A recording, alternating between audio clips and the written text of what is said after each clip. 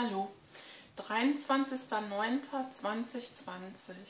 Die Ereignisse überschlagen sich in Deutschland. Ich habe gestern ähm, so ein Interview gesehen mit ähm, Rechtsanwalt Markus Heinz auf dem Kanal von Anni und Martin. Und dann hat mir das schon gereicht, ehrlich gesagt. Also wenn Rechtsanwälte auch nicht mehr wissen, was sie machen sollen, ne? dann denkt man als normaler Bürger, ja und jetzt? Also man ist dann, sage ich mal, man hat dann ein Fragezeichen im Kopf. Ich habe einiges gestern geguckt, noch ein Interview mit Bodo Schiffmann, der jetzt fleißig Flyer druckt und ähm, dann habe ich noch auf Oval Media die Sitzung sowieso 16 geguckt, wo diese Anwältin Viviane Fischer die Richter gebeten hat, es sollen sich doch mal Richter melden für den Untersuchungsausschuss. Also alle sind nur, ähm, sag ich mal, im Notfallmodus, im Stressmodus und ähm, suchen händeringend nach irgendwelchen Menschen, die noch helfen können. Und ähm, ich merke, dass mich das auch nicht unberührt lässt, aber ich merke auch, ähm, erstens, was da läuft und zweitens, ähm, was mir gut tut, um mich zu beruhigen. Also ich verstehe das Ganze, was im Moment so in Deutschland passiert, als Manöver. Also die Sachen, die im Moment passieren, sind ja nicht üblich. Das sind ja alles Ausnahmedinge, die da geschehen und Fachleute wissen auf einmal gar nicht mehr, was sie tun sollen. Und ähm, meiner Meinung nach gibt es keine medizinische Gefahrensituation, sondern eher so eine rechtsstaatliche Gefahrensituation. Und ähm, das kriege ich schon mit. Ist nicht so, dass ich das nicht verstehe. Aber ich habe mich gestern so gefragt, die Leute, die Entscheidungsträger sind und die im Moment Dinge machen, wo ein Anwalt sagt, das ist eindeutig nicht erlaubt. Egal, ob das jetzt um Bayern geht oder um irgendwelche Sachen, die in Schulen ablaufen oder oder. Dann denke ich doch, wie kann das sein, dass Leute, die Jura studiert haben und in der Politik sitzen, auf einmal alles vergessen haben und jetzt Dinge machen, wo ein einfacher, niedergelassener Anwalt sagt, ja, aber das geht doch nicht, ist doch nicht erlaubt. Das ist ja nicht Unwissenheit. Das ist, ich nenne das Manöver.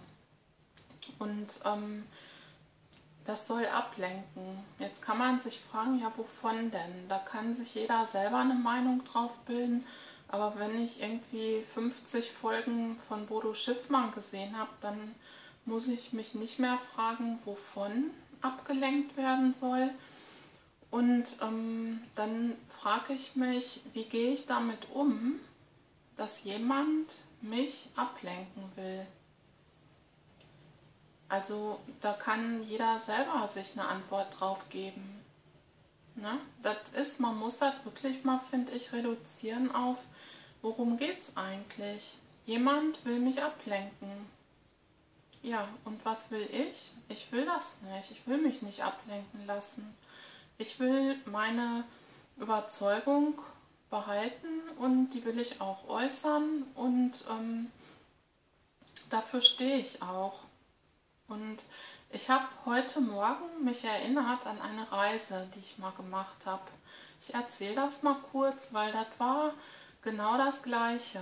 Ich habe eine Reise mit Anfang 30 mit meiner Abendschule gemacht. Ich war in der Abendschule, habe das Abitur nachgeholt und dann hat die Deutschlehrerin gesagt, wir fahren nach Rom. Ja, haben sich alle gefreut, war auch sehr schön.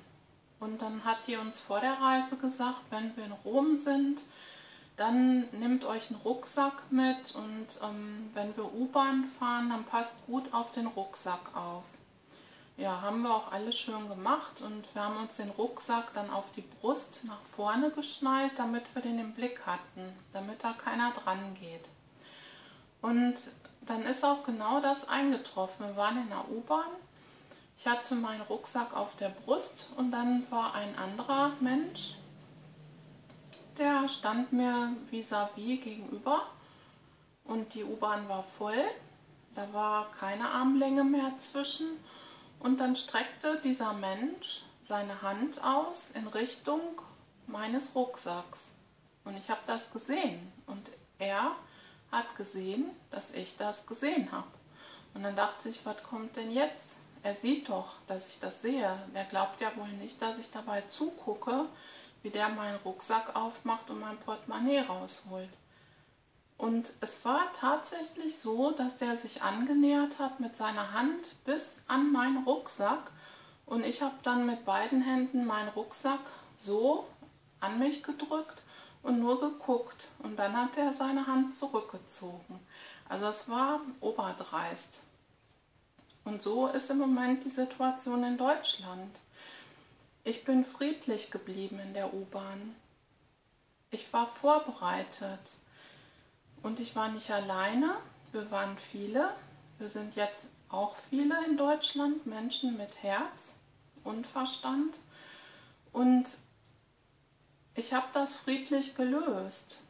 Und der hatte gar keine Chance, weil wenn der, sag ich mal, weitergemacht hätte, dann hätte ich mich auch anders gewehrt und meine Mitschüler hätten wahrscheinlich auch irgendwas dazu gesagt oder andere Reisende also ich hätte sicherlich nicht zugeguckt, wie der meinen Rucksack plündert. Das ist die Situation in Deutschland. Also Ablenkung ist allen mittlerweile, denke ich, aufgefallen, ne, weil das ist ja nicht normal, dass Volljuristen Dinge anordnen, für die es keine Rechtsgrundlage gibt. Geht ja gar nicht.